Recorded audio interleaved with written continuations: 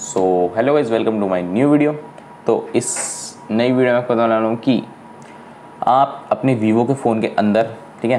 Vivo के phone के अंदर आप अ, जो आपका हेडफोन होता है ब्लूटूथ हेडफोन को फॉरगेट कैसे कर सकते हो ठीक है? अगर आपको वीडियो चाहिए तो वीडियो को लाइक करना और चैनल पर नहीं तो चैनल को सब्सक्राइब कर लेना ठीक है? तो इस वीडियो को चलो शुरू करते हैं।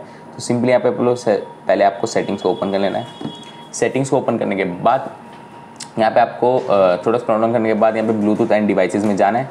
ब्लूटूथ एंड डिवाइसेस में जाने के बाद यहाँ पे सबसे ऊपर आपको दिखेगा ब्लूटूथ का ऑप्शन ब्लूटूथ के ऑप्शन पे क्लिक कर देना है। क्लिक करते ही, जैसे यहाँ पे आपको जो आपका पहले से पेयर हो रखा होगा कनेक्ट हो रखा होगा, ठीक है? यहाँ पे कनेक्टिंग डिवाइसेस में आ रखा है पहले से तो आपको इनको फॉरवर्ड करने के लिए, इसके नाम के बोले आपको? यहाँ पे थोड़ा सेटिंग्स का आइकन दिख रहा होगा। सेटिंग्स के आइकन पर क्लिक कर देना।